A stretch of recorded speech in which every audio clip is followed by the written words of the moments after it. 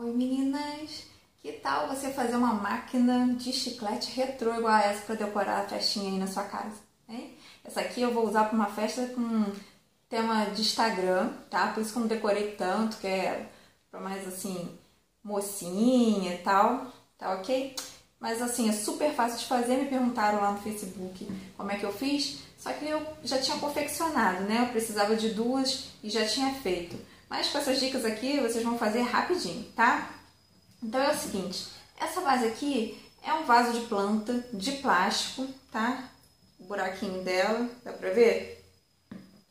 E aí eu coloquei, fixei com cola instantânea, o vidro de aquário, tá? Isso aqui são dois botões daqueles de pressão é, de bolsa, usado em bolsa, né? Aqueles botões de pressão. Coloquei um abertinho aqui pro lado, o outro para cima, para simular aquela hora que a gente coloca um dinheirinho, né? E sai a bolinha.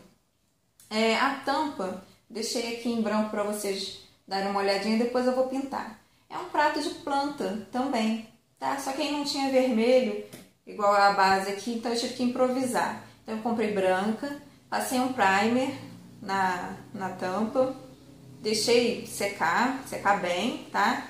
Depois eu passei tinta de PVA vermelha Deixei secar bem de novo e passei é, mais uma camada, tá? Para ficar bem uniforme e bonitinho. Aqui é uma bolinha de biscuit de massinha marrom, tá? Fiz a bolinha e esmaguei para ficar assim esse detalhezinho. É, esse daqui é um puxador de MDF, não fiz nada, só comprei ele mesmo. Já coloquei aqui, tá? Para dar um charmezinho. E é, para dar um detalhe, eu coloquei esse lacinho de cetim, mas se você fizer uma festa de jardim, por exemplo, pode fazer bolinhas vermelhas para simular é, joaninha. É, para menino de super-heróis, que eu vou usar também, aí no caso vou tirar esse lacinho, tá? Então é assim, mil e uma utilidades. Imagina isso daqui cheia de bolinhas de chiclete. Vai dar um colorido lindo, né? Então é isso, gente. Fica a minha dica aí pra vocês. Até o próximo vídeo. Um beijão!